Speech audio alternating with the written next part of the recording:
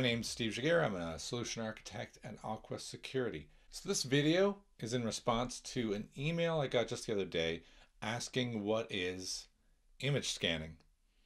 And that's a pretty fundamental question. And I thought, oh, okay. Uh... Higher scanning speeds provide an increase in daily scanning on every part of the vault. This is how we in always an evenly lit, bright room, and hold your phone over the image, taking care. No, no, no, no, no, none of those.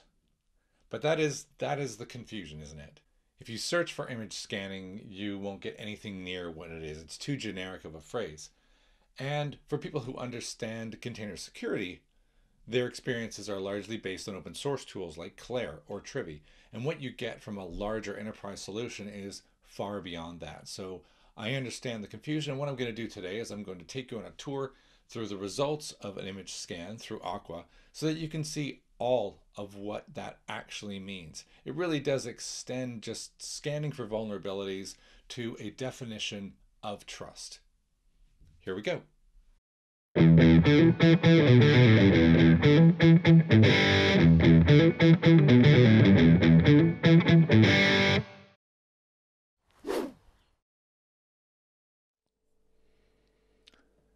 So what is the difference between aqua scanning and an open source tool? That was the question that I got. And I can see why people would ask that because a lot of people have used open source scanners. They've seen the results and they're wondering, what am I getting from an enterprise scanner? Sure, fair question.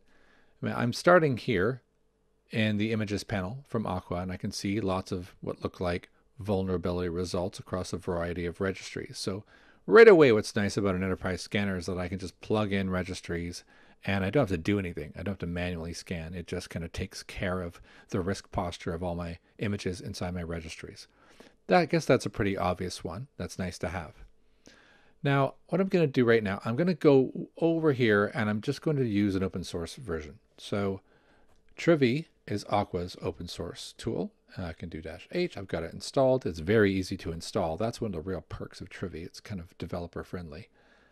And I could scan an image. So if I want to run a Trivy image, uh, let's say Alpine, that's, you know, that's a pretty solid. Let's do an older one though, shall we? 3.7. Now it's just going to pull the image, but once it's done that, the scan is actually really fast. And I can see that there's fixed versions. I can see the, the, the CVE number. I can get a little bit of extra information on there and I got a summary across the top. This is really good if I'm designing an image and I just want to get a picture of the base images I'm going to use and what I might want to do in terms of a comparison. So this is fantastic for developers on the desktop to see what might happen if I build an image and I push it into my CI environment. This is great. Now, if this is what you understand, awesome. Keep using this stuff. But if I shift over a little bit more and we look at what can be done with a commercial scanner, it's quite different. Now, just from the start, and I've automated a commercial scanner. Now, if you want to see how our commercial scanner is installed, you can look at our, our help, Aqua Scanner executable binary, and it gives you some very easy steps. Doing a, performing a wget, giving it permissions, and simply running it. The parameters are slightly different, but really not that much. So I've just built, I have a Docker file. Let's take a look at my Docker file. Now I'm going to build that, docker build dash t. Now what am I going to call it? My Nginx. I'm going to keep it real simple. Mine. And I'm going to tag it 0.9 because there's no way that's official. So we're going to build that out. It's going to build, I would imagine, pretty quick. It's just a very straightforward Nginx. And now I've scripted my scan so I can run a scan with my normal scanner that I've installed using those instructions. And I'm going to use my tag. So I've only just done that. So it's very similar to what I did with Trivy, except I'm using the Aqua scanner. And I can see it running through. And it doesn't take that much longer. And I can see there's a quite a comprehensive JSON output that I can export into a commercial tool to try to weed through all of this. But let's zoom up and take a look at the, the options in here. We can see that I ran with scan, similar to Trivy's image. I'm running a Dockerless scan, which is which is interesting. It, it, simply means that I don't need Docker present or a Docker socket to make the scan, which is actually very similar to Trivy as well.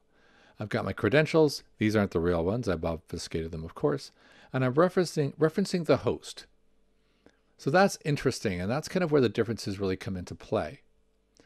The host is where my policies that define compliance and trust exist. And I could run this and produce an HTML output, and I'll show you what that looks like when I've integrated into my CI. But what's interesting at the moment is that if I echo my dollar question mark, I can see my last output was 4, which means actually if this had been run in CI, that would have been non-compliant because it returned non-zero. Okay, so that's one way of doing it. If I just go up one directory and I run a scan ad hoc, we'll see the other mechanism we can use to run this, and that is using a Docker container. Now it's going to do the same kind of thing, produce a nice JSON result, but the mechanism was just slightly different, and there's kind of six of one, half a dozen of the other, depending on how I want to run my, my local or ad hoc scans. And wow, there's a lot of vulnerabilities in this. Hmm, interesting. Finally, we got there. We got there. But we can see that I ran it as Docker and there's slightly different parameters. Now here's one of the key differences is mounting the Docker socket into our scanner container. Some people don't like doing that, but other people really like that the environment is all enclosed and you can, I can run this container anywhere I want. The usual build once run anywhere solution. So if you like the containerized version, great, use that. If you like the scanner CLI command line, great, use that. They're very similar results. So what does this look like if I were to give you a prettier output? Well, what's kind of nice about this is that not only did I get results, but because I've integrated with the console, I can run to my images where I am and I can look at my CI/CD scans and I can see these ones that I've run recently. So let's look down here because these are the ones I just did. This is Orders Nginx2. I just did this. I can see the image is approved against my default policy and I can look at the vulnerabilities if I want. So this is a nicer interface, isn't it? Also, I can take a look at the one that I just ran via my scanner CLI. That was tagged slightly differently. So let's take a look at mine 0.9. I can see this one is non-compliant and there's an additional policy being applied to that. Okay, that's kind of interesting. I can see that I need to fix a few vulnerabilities that exceeded 9.8. And what's already interesting about that is I ran two different scans but my definition of compliance was different and there were different policies applied depending on the environment. And that's another thing that you get different running image scanning via an enterprise tool. Now you're probably already looking across the top at all the other information that I have about this image. And that's the kind of the next step. But before we go there, I just wanted to show you what you can see via integrations with something like Jenkins. Now I started a build recently. Let's take a look at whether that's finished or not. And it is. And if I jump in here and I take a look at the artifact that was created via our plugin for Jenkins, I get kind of a nice, what's meant to be a developer-friendly view.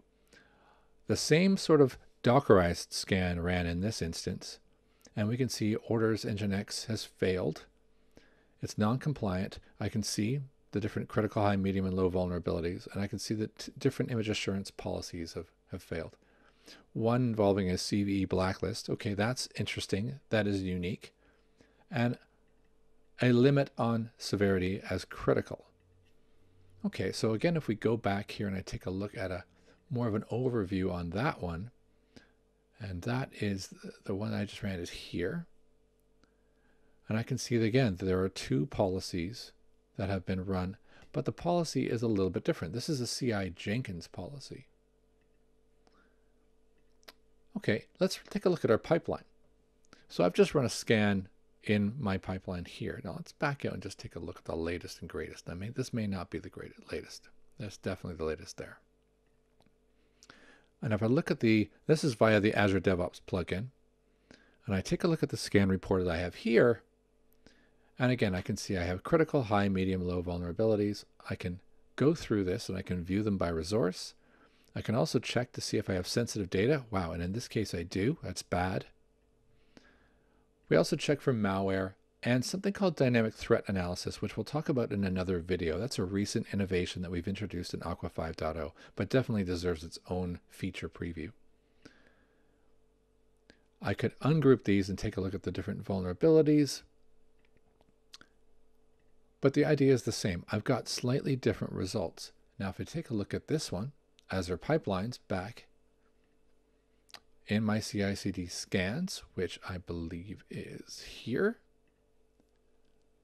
we can see that I have yet a different policy applied alongside of my default to produce different actions required across that. So that's interesting. So we can see already that, sure, I've got vulnerabilities, but my, defini my definition of trust has changed depending on whether I was a developer running it on the command line, whether I was running it in Jenkins, maybe in a different cloud, and whether I was running in my Azure DevOps pipeline here. And again, that's something that is different about enterprise scanning. I'm allowed to scope my definition of compliance or trust depending on a variety of metadata that I have available to me. So let's go back over here and let's take a little tour through some of the results that we have up here. Now what I'm going to do for that is you'll notice, by the way, you see the same results in CI/CD scans as you do as the scans that come in via the registry. So I'm going to choose one that is here in the registry as an example. And we can see I've got Struts Attacker. Struts Attacker is actually pretty bad. It's based on uh, quite a few people created a, a, vulnerable Java app called Struts Showcase, and you can see me using that in my drift prevention video. So we've analyzed this. It's passed because it only it's only being checked against the default policy because there is nothing specifically scoped to it. But let's take a look at the vulnerabilities and what you get in terms of what you can see by looking at just a vulnerability. So let's let's roll down and look at ImageMagick, for example, as a starter. So this is a critical vulnerability. And the information I get via the enterprise version is that this has been marked at critical and I can see the reasons why. If I expand this, I can see that the different CVSS scores are available. I can see that there might not necessarily be a vendor score. And by the way, I can set within Aqua whether I want to take CVSS v3 or v2, whatever I like. This is a setting that's possible. I can luckily see that there isn't an, a live exploit available. And thankfully, I haven't got a workload running based on this because actually not only would this be bad, but the fact that this has the struts vulnerability somewhere in there is also be really quite terrible. If I look at the recommendations, I can see them in Gartner's workflow order, which is great because if I want to remediate it, I have the detail I need to make that happen. If I wanted to mitigate it, I can apply one of Aqua's vShields, which is a tailored runtime policy to render this particular vulnerability non-exploitable. Very cool, but something for another video. And finally, I can acknowledge it. There's a, a variety of options around acknowledgments based on the image, based on the repo, and a possibility to put a time limit on that and the rest of the scan deals, uh, details I might need to know to take action upon this. Now, all that's fine and good, but this is a lot to kind of eat all in one sitting, isn't it? What if there's a way that I could find out what's the what I can do with this to create the, the largest effect? Well, there's other views available for, for vulnerabilities. I can look at it by layer, and I can even get rid of the non-vulnerable layers and just take a look at where it is I feel I can apply the most uh, remediation all in once. Or I quite like the resources view. When I'm looking at my resources, I can instantly see in kind of order that if I just removed some of these resources from this, and do I need this? This is a, a, Java web application. Why do I still have curl in it? This immediately shows the advantage of a lean base image and a lean image generally. Now, if I removed curl, Python, Perl, Git, do I need these? Mercurial, why is that even there? A lot of these I don't need, and I can, as part of my image design, let's say remove something. That's actually pretty rare for developers to do that. They tend to leave things bloated. Sorry, developers. But if I roll down, a lot of the things I look at that I don't need, I can simply remove or I can apply the fixed version if available. And just by doing the basics of what I see here, I can seriously trim down this vulnerability count. And I really like that. So moving for, further on, I can see sensitive data. Thankfully, there isn't any like I had in the, the scan that we saw up there. No malware. I can see the scan history, so I can see every time I've scanned it. And I can see if there's any additional audit information associated with this. So I can see the scan was that happened, so that's that works just fine. But what I really like to and like to stop on is information. So this provides me with all of the metadata that I might be able to use down the line to further create policies that might scope what I'm trying to do a little bit better. Additionally, I can also think about other environment variables in terms of design like do I want to expose things like let's let's just take for example I have this key I'm not entirely sure what it means, but do I want that that visible? Maybe I should be using a, a, vault or a secrets manager to try and push this in instead of having it visible out of the box. But if I roll down, I can see all the different metadata that was used, environment variables, etc., on the way by layer. So this gives me a lot of information that I might want to use as part of my scope. And in fact, I did that. That's how I created all of my policies. If I very quickly jump over to my CI/CD scans, and I take a look at one of them. Let's choose the one that I scanned using, yes, there it is. And I look at the information for that. I can see that there's a lot of Docker labels that Azure just adds automatically.